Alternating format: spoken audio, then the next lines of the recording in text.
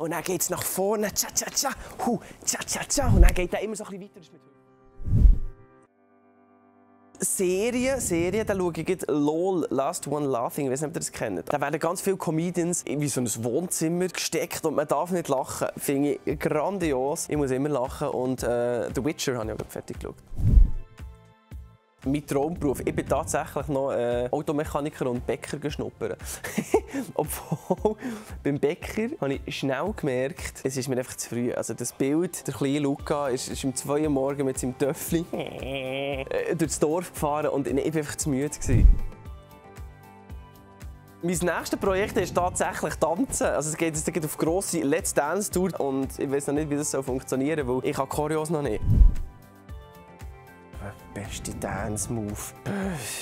Ich habe gerne Cha-Cha-Cha. Aber was Cha-Cha-Cha geht so ein bisschen, weißt du, das fährt hier an, macht so